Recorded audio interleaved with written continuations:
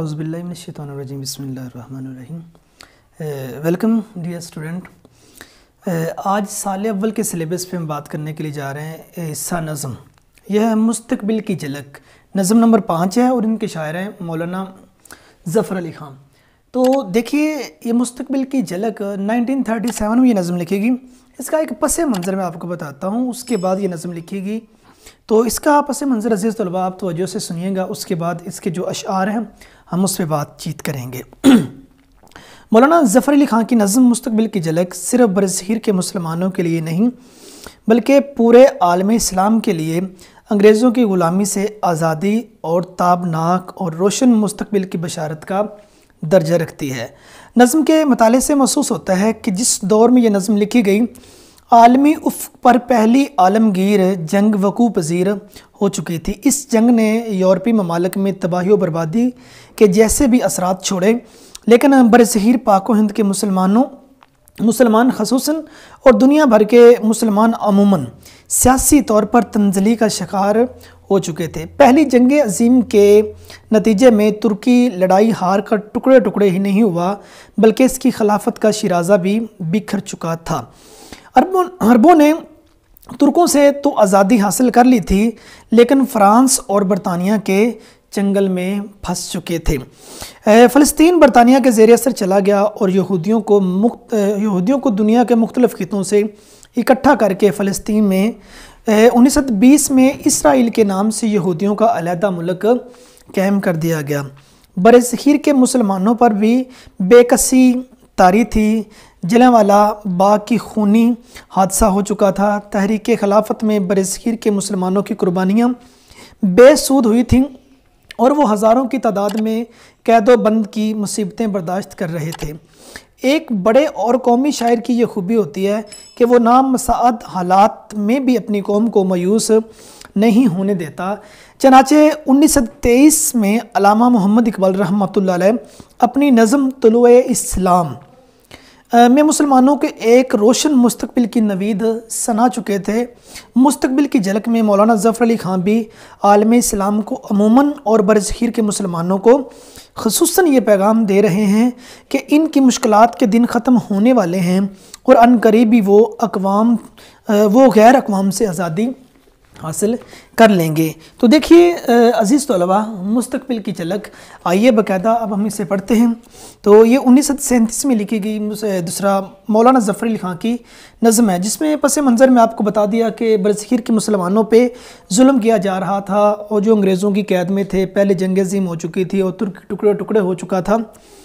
تو دیکھیے، اس میں مولانا ظفر علی خان نے ایک پیشن گوئی کی ہے کہ آنے والا وقت ہوگا وہ کیسا ہوگا۔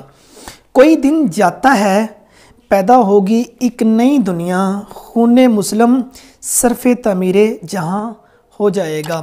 کوئی دن جاتا ہے مینز ان قریب ہی ایسا دن آنے والا ہے کہ پیدا ہوگی نئی دنیا۔ خون مسلم، مسلمانوں کے خون سے صرف تعمیر جہاں، ایک نیا جہاں تعمیر ہو جائے گا۔ مراد یہ کہ انقریب ہی ایسا دن آنے والا ہے کہ مسلمانوں کے خون سے ایک نیا جہان پیدا ہو جائے گا۔ دیکھیں مسلمانوں کو کتنی عزیتیں دیں گی، تکلیفیں دیں گی برزخیر پاک و ہند میں سب سے زیادہ مسلمانوں کا نقصان ہوا ہے۔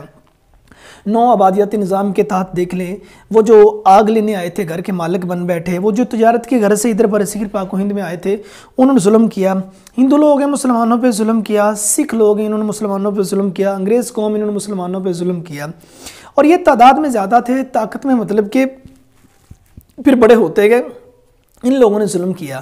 تو دیکھیے، جب اگر ظلم کب تک ظلم رہتا ہے؟ اسے ایک دن ختم ہو جانا ہوتا ہے۔ تو مولانا ظفر علی خان مسلمانوں کو یہ کہا کہ انقریب ہی وہ دن آنے والا ہے کہ آپ کے خون سے ایک نیا جہان پیدا ہو جائے گا۔ اب انہوں نے جتنا ظلم و ستم کیا ہے، دیکھو ایک جس پہ ظلم کیا جاتا ہے، وہ ظلم کب تک سہے گا؟ ٹھیک ہے، وہ آخر اس نے بھی ایک دن اٹھنا ہے اور وہ اٹھے گا تو پھر اپنی طاقت کے بل بوتے پہ ان سے ضرور بدلہ لے گا۔ تو دیکھیے کہ اگر عثمانیوں پہ کوہ غم ٹوٹا تو کیا غم ہے کہ خون صد ہزار انجم سے ہوتی ہے سحر پیدا؟ تو دوسرا شعر دیکھیے کہ خون دل دے کر نکھاریں گے رخ برگ گلاب، ہم نے گلشن کے تحفظ کی قسم کھائی ہے۔ دوسرا شعر دیکھیے بجلیاں غیرت کی تڑپیں گی، فضائے قدس میں حق آیا ہو جائے گا، باطل نیہا ہو جائے گا۔ بجلیاں غیرت کی غیرت کی بجلیاں تڑپیں گی فضائے قدس۔ فضائے قدس مراد اسلامی ممالک، اسلامی دنیا یا پاک فضا میں۔ حق آیا ہو جائے گا آیا ہو جانا، واضح ہو جانا، باطل نہا ہو جانا، باطل کا چھپ جانا۔ کہتے ہیں کہ غیرت کی جو بجلیاں ہیں، وہ اس پاک دنیا میں، اس مقدس دنیا میں، اس اسلامی دنیا میں تڑپیں گی، جس کا نتیجہ کیا نکلے گا؟ حق واضح ہو جائے گا اور جو باطل ہے، وہ چھپ جائے گا۔ مراد یہ دیکھیے کہ ان قریب ہی وہ دن آنے والا ہے کہ مسلمانوں کے خون سے ایک نیا جہان پیدا ہو جائے گا۔ غیرت کی بجلیاں تڑپیں گی اسلامی ممالک میں، جس کا نتیجہ کیا نکلے گا؟ حق آیا ہو جائے گا، باطل نہا ہو جائے گا۔ تو دیکھیے، کہتے ہیں کہ باطل سے دبنے والے اے آسمان، نہیں، ہم سو بار کر چکا ہے تو امتحان ہمارا۔ دیکھیں قرآن پاک میں بھی واضح مقامات پہ یہ فرمایا گیا، الصدق ینجی والکذب یہلک سچ نجات دیتا ہے، جھوٹ ہلا کرتا ہے۔ دیکھیں، اور ایک مقام اور پہ فرمایا گیا، اور حق آیا، باطل مٹ گیا۔ بے شک باطل کو مٹنا ہی تھا۔ آخر جھوٹ کب تک جھوٹ رہتا ہے؟ جھوٹ کے پاؤں نہیں ہوتے۔ جھوٹ آخر ایک روز دب جاتا ہے۔ تو مسلمانوں میں غیرت کی بجلیاں تڑپیں گی اور جس کا نتیجہ پھر یہی ہوگا، جو حق ہے وہ واضح ہو جائے گا، جو باطل ہے وہ چھپ جائے گا، وہ مٹ جائے گا۔ ان لوگوں نے ہم پہ ظلم و ستم ایک باطل میں کیے، یہ سچ والے نہیں تھے۔ یہ مسلمان اسلام، یہ مسلمانوں کے اسلام کو دبانا چاہتے تھے، یہ مسلمانوں کا اور زیادہ نقصان کرنا چاہتے تھے، لیکن ایسا پوسیبل نہیں تھا۔ تو ان اشعار کی مد میں دیکھیے کہ اپنی دنیا آپ پیدا کر اگر زندوں میں ہے سر آدم ہے، ضمیر کن فقہ ہے زندگی۔ کہ یہ ان لوگوں سے کہا کہ اگر تو زندوں میں ہے تو تجھے چاہیے تو اپنی دنیا آپ پیدا کر۔ اگر اپنی دنیا جب بندہ آپ پیدا کر لے گا تو جو اس کا نتیجہ نکلے گا وہ یہی ہوگا، حق واضح ہوگا، جو باطل ہے وہ چھپ جائے گا۔ تیسرا شعر دیکھیے، ان کواکب کے عوض ہوں گے نئے انجم طلوع، ان دنوں رخشندہ تر یہ آسماں ہو جائے گا۔ ان کواکب کواکب ان ستاروں کی جگہ پہ۔ نئے انجم تلو، نئے ستارے۔ مطلب ان کواکب کے عوض ہوں گے نئے انجم تلو۔ ان ستاروں کی جگہ پہ نئے ستارے تلو ہوں گے۔ ان دنوں رخشندہ تر رخشندہ تر روشن تر، یہ آسماں ہو جائے گا۔ مطلب ان ستاروں کی جگہ پہ نئے ستارے طلوع ہو جائیں گے تو پھر اس کا نتیجہ کیا ہوگا کہ یہ آسمان دوبارہ سے روشن تر ہو جائے گا کہ ان لوگوں نے جتنا مسلمانوں پہ ظلم کیا ہے، انہوں نے خون ریزیاں کی ہیں، قتل و غارت بہت زیادہ کی ہے اور انہوں نے اسلام کو اور مسلمانوں کو مٹانے کی یہ ٹھان لی تھی کہ ہم ایسا کریں گے۔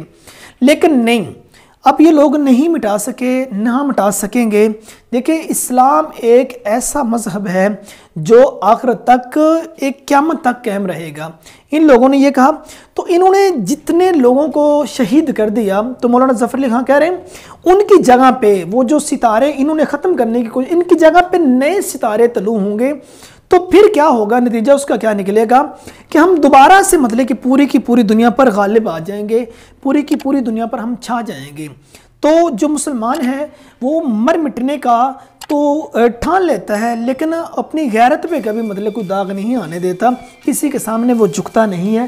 تو دیکھیے، غیرت بڑی چیز ہے جہان تگو دو میں، ٹھیک ہے؟ پہناتی ہے پہناتی ہے درویش کو تاج سر دارہ جو غیرت نا، وہ بڑی چیز ہے۔ اس کا نتیجہ کیا ہوتی ہے؟ وہی انسان کو نا تاج سر دارا۔ پہناتی ہے۔ تو دوسرا شعر دیکھیے۔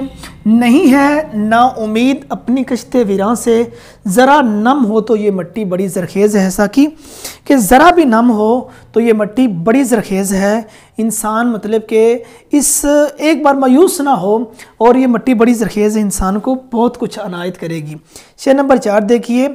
پھر نئے محمود ہوں گے حامی دین متی بچہ بچہ غیرت علپ اور سلام ہو جائے گا۔ پھر نئے محمود محمود مینس حضرت دوسرا محمود غزنوی کی طرف اشارہ ہے۔ یہ تلمی یہاں استعمال کی گئی۔ حامی دین متی حامی کہتے ہیں مددگار کو، دین متی دین کے مددگار۔ بچہ بچہ غیرت علپ ارسلام علپ ارسلام یہ سلجوکی خاندان کا دوسرا نیک دل بہادر ایک حکمران تھا۔ اس شعر میں مولانا ظفر علی خان نے کہا کہ پھر ممود غزنوی جیسے مددگار پیدا ہو جائیں گے اور اس مسلم اقوام کا ایک ایک بچہ جو ہے وہ سلجوکی خاندان کے اس حکمران کی طرح ہوگا جس نے کوئی کمپرومائز نہیں کیا تھا۔ تو دیکھیے اس شعر میں، چوتھے میں، کہ قاسم و غوری محمود کے وارث ہیں ہم۔ سرخیال ہم نے سرخیاں، ہم نے چنی انہی کے افسانوں سے۔ یہ والا شعر کہتے کہ ان لوگوں نے محمود غزنوی کو دیکھیے کہ انہوں نے سومناک مندر کو گرایا تھا اور سترہ حملے کیے سومناک مندر پر، ٹھیک ہے؟ اور وہاں سے جو کچھ انہوں نے مال لوٹا ہوا تھا، وہ سارا کا سارا وہ ادھر مسلمانوں کے پاس لے کے آ گئے تھے۔ کہنے کہ ایک ایک پھر نئے محمود غزنوی ادھر پیدا ہوں گے، وہ سارے بدلے تم سے لے لیں گے، بچہ بچہ غیرت علب پر سلاح ہوگا۔ تو پھر اس مسلم قوم کا، مسلم اقوام کا ایک ایک جو بچہ ہے نا وہ سلجوکی خاندان کے علب ارسلان کی طرح ایک نیک دل بہادر حکمران ہوگا۔ رخ کیا جب بھی کبھی ہم نے سنم خانوں کا اللہ اللہ کی صدا آئی ستم خانوں سے۔ کہتے ہیں مسلمان یہ وہ قوم ہے، کہتے ہیں ہم نے جب بھی کسی کے سنم خانوں میں رخ کیا تو اللہ اللہ کی صدا وہاں آنے لگی کہ یہ لوگ جھکنے والے نہیں، یہ لوگ مٹنے والے نہیں، یہ لوگ مرنے والے نہیں، یہ لوگ پیچھے ہٹنے والے نہیں۔ وہ لوگ کہتے ہیں کہ ہم ان کو ختم کر دیں گے، یہ ختم کرنے کا سوال نہیں تھا۔ تو انہوں نے خود مطلب کہ ایک موقع دیا کہ مسلم دوبارہ سے ان کے اوپر چھا جائیں۔ ان کا ظلم و ستم کا نتیجہ جو تھا تو وہ یہ نکلا کہ وہ قوم مطلب کہ یہ انہوں نے بتایا مولانا ظفر علی خان کہ وہ قوم آخر مطلب کہ ایک عاجز قوم بن جائے گی، اس قوم کے اوپر مسلمان ہی حکمرانی کریں گے۔ میرے جیسے ہوں گے پیدا سینکڑوں اہل سخن نقطہ نقطہ جن کا آزادی کی جہاں ہو جائے گا۔ مولانا ظفر علی خان کہتے ہیں کہ میرے جیسے پیدا ہوں گے سینکڑوں اہل سخن۔ اہل سخن مینز اہل دانش، شاعر یا ادیب حضرات کہتے ہیں میرے جیسے بہت زیادہ تعداد میں شاعر اور ادیب پیدا ہوں گے، جن کا ایک ایک لفظ جو ہے نا، وہ آزادی کی جان بان جائے گا۔ جن کا ایک ایک لفظ یہ کہے گا کہ ہمیں آزادی چاہیے، وہ اپنی آزادی لے کے رہیں گے۔ تو اس میں دیکھیے کہ میں اکیلا ہی چلا تھا، شہری حوالہ میں دیکھیے کہ میں اکیلا ہی چلا تھا جانب منزل مگر لوگ ساتھ آتے گئے اور کارواں بنتا گیا۔ تو مولانا ظفر علی خان، دیکھیے، وہ جس طرح وہ کہتے ہیں کہ ایک ایک جو شخص ہے نا مطلب کہ ان کا جو خیال ہے وہ میری طرح ہوگا کہ وہ بھی آزادی کی خاطر کہیں گے۔ جس طرح اقبال کے خیال کو کاپی سیم کیا گیا ہے مولانا ظفر علی خان نے۔ جو اقبال کا ویژن تھا، وہی مولانا ظفر علی خان کا ویژن تو کہتے ہیں اسی طرح اور لوگ بھی پیدا ہوں گے جن کا یہی خیال ہوگا کہ آزادی ہماری جان ہے۔ یہ دھڑکن کی طرح عجیب قصے سنائے گا کہ آزادی کا یہ رستہ ہمیں منزل دکھائے گا۔ تو نیکسٹ شعر دیکھیے، چھٹا شعر کہ ڈاہی جائے گی بنا یورپ کے استعمار کی، ایشیا آپ اپنے حق کا پاسباں ہو جائے گا۔ ڈھائی جائے گی، گرائی جائے گی۔ بنا کہتے ہیں بنیاد کو یورپ کے استعمار کی۔ استعمار کا معنی ہوتا ہے کسی آزاد ملک کو غلام کرنا۔ کہتے ہیں وہ یورپ جو آزاد ملک ہے نا، اپنے آپ کو وہ آزاد سمجھ لے اس کی وہ جو بنیاد ہے، وہ ڈھا دی جائے گی، وہ گرا دی جائے گی، وہ دوبارہ غلامی میں آ جائے گا۔ ایشیا آپ اپنے حق کا پاسباں ہو جائے گا۔ جو ایشیا ہے، یہ خود اپنے حق کا پاسباں ہو جائے گا۔ اس اس دھرتی پہ رہنے والے جو مطلب کہ مسلمان ہیں، وہ خود اپنی رکھوالی کرنے والے بن جائیں گے۔ وہ لوگ جو مطلب کہ جنہوں نے کسی کی آزادی چھین کر اپنے آپ کو آزاد کرنا چاہا ہے، کہتے ہیں ان قریب ہی وہ مطلب کہ ان ہتھوں میں چڑھ جائیں گے یا وہ ان قریب ہی وہ لوگ قابو میں آ جائیں گے۔ ان کی وہ جو بنا ہے، ان کی وہ جو بنیاد ہے، وہ ڈھا دی جائے گی۔ اور جس کا نتیجہ پھر یہ نکلے گا، وہ دوبارہ سے ایک غلام قوم بن جائے گا۔ تو اس کا شعری حوالہ آپ دیکھیے۔ تو لو غم و حیات سے گھبرانا، اے جگر ایسی بھی رات ہے جس کی سہر نہیں۔ دوسرا شعر، تمہاری تہذیب اپنے خنجر سے آپ خودکشی کرے گی، جو شاخ نازک پہ آشیانہ بنے گا، ناپائیدار ہوگا۔ تو ساتویں شعر پہ دیکھیے، نغمہ آزادی کا گونجے گا۔ حرم اور دیر میں جو دار الحرب ہے دار ہو جائے گا۔ نغمہ آزادی کا مطلب آزادی کا نغمہ گونجے گا حرم اور دیر میں۔ حرم کہتے ہیں کعبۃ اللہ میں، خانہ خدا میں، دیر مندر میں، کہتے ہیں آزادی کا جو نغمہ ہے، وہ مطلب کہ خانہ خدا میں بھی اور مندر میں بھی دونوں میں گونجے گا، جو دار الحرب ہے۔ دار الحرب کہتے ہیں لڑائی کا گھر دار المان امن کا گھر بن جائے گا۔ کہتے ہیں کہ کعبے میں اور مندر میں دونوں جگہوں پہ آزادی کا نغمہ گونجے گا اور جو لڑائی کا گھر ہے، وہ امن کا گھر بن جائے گا۔ کہ جو آزادی، یہ لوگ، انہوں نے کیا کام کیا کہ مسلمانوں پر ظلم کیا برزخیر کے مسلمانوں پر انگریزوں نے انگریزوں کی غلامی میں آ گئے، ترکی کو ٹکڑے ٹکڑے کر دیا۔ یہ جو پہلی جنگ عظیم جب ہوئی، تو ان لوگوں نے سبھی کو قابض کر لیا، خانہ خدا پہ قبضہ کرنے کی کوشش کی۔ اور جہاں جہاں مسلمان آباد تھے، ان پہ ظلم و ستم کرنے کی کوشش کی۔ تو مولانا ظفر علی خان نے یہ پیشین گوئی کی کہ آزادی کا جو نغمہ ہے نا، وہ ہر جگہ گونجے گا۔ وہ حرم میں بھی آزادی کا نغمہ گونجے گا، وہ ان کا مندر ہے، اس میں بھی آزادی کا نغمہ گونجے گا۔ جو لڑائی کے گھر بن چکے ہیں، وہ امن کے گھر ہو جائیں گے، وہ سکون کے گھر ہو جائیں گے۔ تو دیکھیے، خدا کرے احمد ندیم قاسمی کا یہ شعر، خدا کرے میری عرض پاک پر اترے۔ وہ فصل گل، جسے اندیشہ زوال نہ ہو۔ یہاں جو پھول کھلے، وہ کھلا رہے برسوں۔ یہاں سے خزاں کو گزرنے کی بھی مجال نہ ہو۔ دوسرا مطلب کہ خدا کرے میرے ایک بھی ہم وطن کے لیے حیات جرم نہ ہو، زندگی وبال نہ ہو۔ تو آٹھواں شعر دیکھیے۔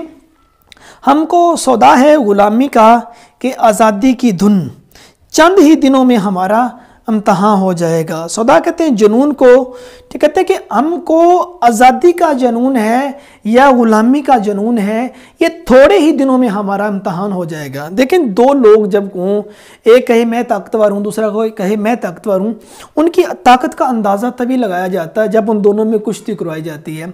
کہتے ہیں، یہ لوگ کہتے ہیں کہ یہ مسلمان غلام رہنا چاہتے ہیں، یہ غلام کون ہے؟ قوم ہے۔ تو مولانا ظفر علی خان کہتے ہیں، ہمیں غلامی کا جنون ہے یا ہمیں آزادی کا جنون ہے؟ یہ آپ دیکھیے گا، ان قریب اس بات کا پتہ چل جائے گا، یہ ہمارا امتحان ہو جائے گا۔ ہم غلام قوم ہیں کہ ہم آزاد قوم ہیں۔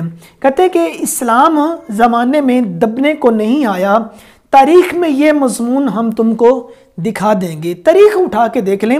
ہم کس قوم سے تعلق رکھنے والے ہیں؟ ہم محمود غزنوی کی قوم سے تعلق رکھنے والے ہیں۔ ہم محمد بن قاسم کی قوم سے تعلق رکھنے والے ہیں۔ ٹھیک ہے نا؟ آپ انبیاء کرام، اولیاء کرام، شہداء اسلام سبھی کی ہسٹریاں پڑھ لیں۔ ہم اس نیک بہادر قوم سے تعلق رکھنے والے ہیں۔ تو دوسرا شعر کہتے ہیں، ہم نے سوکھی ہوئی شاخوں پہ لہو چھڑکا تھا۔ پھول گر اب بھی نہ کھلتے تو قیامت ہوتی۔ کہ سکی ہوئی شاخیں تھیں۔ ہم نے لہو چھڑکا تھا۔ ہم نے ان کو روشن کیا۔ اور آپ کون ہوتے ہیں؟ ان پہ قابض ہونے والے۔ ہم خود مطلب کہ اس چمن کے اس آشانے کے رکھوالے ہم خود ہیں۔ اس کی رکھوالی ہم کریں گے۔ تو نواں شعر دیکھیے آپ، اس بشارت کو نہ سمجھو، ایک خوشکن قیاس جس کو سن کر ہر مسلمان شاد ماں ہو جائے گا۔ اس بشارت بشارت کہتے ہیں خوشخبری کو۔ خوشکن کیاس خیال۔ کہتے کہ یہ جو میں آپ کو خوشخبری دے رہا ہوں، اس کو ایک خوشکن خیال تصور نہیں کرنا۔ جس کو سن کر ہر مسلمان شادمہ ہو جائے گا شادمہ ہونا خوش ہونا۔ کہتے ہیں، یہ جو خوشخبری میں آپ کو دے رہا ہوں کہ ایک انقریب ایسا وقت آئے گا، مسلمانوں کے خون سے نیا جہان پیدا ہوگا، امن ہوگا، سکون ہوگا۔ کہتے ہیں، اس خوشخبری کو صرف ایک خیال نہیں سمجھنا، اس پہ پکا یقین کر لو۔ صرف ایک خیال کیا ہے کہ تھوڑی دیر کے لیے خوش نہیں ہونا، تو اس کو ایک پکا خیال تصور کر لیں، یہ ایسا ہونا ہے اور ہو کی رہنا ہے۔ تو دیکھیے نا کہ میں سن رہا ہوں، ایس، اسے جو سنائی دیتا نہیں۔ میں دیکھتا ہوں اسے جو دکھائی دیتا نہیں۔ کہتے میں اس کو سن رہا ہوں جو مطلب کہ سنائی نہیں دیتا، آپ لوگوں کو سنائی نہیں دیتا۔ اور میں اس چیز کو دیکھ رہا ہوں جو آپ لوگوں کو دکھائی نہیں دیتا۔ پتہ ہے یہ زمانے کو کہ نعمت ہے یہ آزادی، کہ آزادی نہ ہو تو پھر نمایاں ہے یہ بربادی۔ کہ جو آزادی ہے یہ اصل نعمت ہے، اگر آزادی نہیں ہوگی تو پھر تو ظاہری سی بات ہے، بربادی ہوگی۔ دوسرا، یہ دسواں شعر، سچ ہے میرا حرف حرف اور جس کو اس میں شک ہے آج۔ دیکھ لینا کل میرا ہم داستان ہو جائے گا۔ ہم داستان کہتے ہیں ہم خیال کو۔ کہتے ہیں کہ میرا ایک ایک جو حرف ہے اور جس کو میرے ایک ایک حرف پہ شک ہے، دیکھ لینا، ایک وقت ایسا آئے گا، وہ میرا ہم خیال بن جائے گا، وہ میرے خیال کی پیروی کرنے والا بن جائے گا، جس کو میری اس بات پہ شک ہے جو میں نے کہا ہے کہ مسلمانوں کے خون سے کہ نیا جہان پیدا ہوگا، ہم آزاد قوم بنیں گے۔ تو دیکھیے، باطل سے دبنے والے، اے سما ہم نہیں سو بار تو کر چکا ہے امتحان ہمارا۔ دوسرا شعر، سارے عالم پہ ہوں میں، چھایا ہوا، مستند ہے میرا، فرمایا ہوا۔ تو مستقبل کی جھلک میں دوبارہ سے پہلے شعر سے لے کے آخری شعر تک میں آپ کو اس کا کنکلوجن اس کا حاصل کلام، اس کا خلاصہ دے دیتا ہوں کہ دیکھیے، انقریب ہی وہ دن آنے والا ہے۔ کہ جب مسلمانوں کے خون سے نیا جہان پیدا ہو جائے گا، غیرت کی بجلیاں تڑپیں گی، عالمی فضا میں جس کا نتیجہ یہ نکلے گا، حق واضح ہو جائے گا، باطل چھپ جائے گا۔ ان ستاروں کی جگہ پہ نئے ستارے طلوع ہوں گے اور یہ آسمان دوبارہ سے روشن تر ہو جائے گا۔ بہت سارے لوگ محمود غزنوی کے دین کے وارث ہوں گے اور ایک ایک ہمارا بچہ سلجوکی حکمران کی مانند ہوگا۔ میرے جیسے ہزاروں اہل سخن پیدا ہوں گے جن کا ایک ایک نقطہ آزادی کی جان ہوگا۔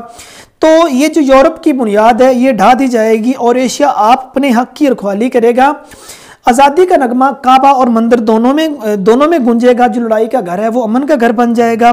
ہم کو آزادی اچھی لگتی ہے یا غلامی، یہ چند دنوں میں ہمارا امتحان ہو جائے گا۔ کہتے جو بات میں آپ کو کہہ رہا ہوں، اس کو خوش کن خیال نہیں سمجھنا، جس کو سن کے آپ لوگ خوش ہو جائیں گے۔ میرا ایک ایک حرف سچ ہے، جس کو میری بات پہ شک ہے، دیکھ لینا، وہ کل کو میرا ہم داستان ہم خیال ہو جائے گا۔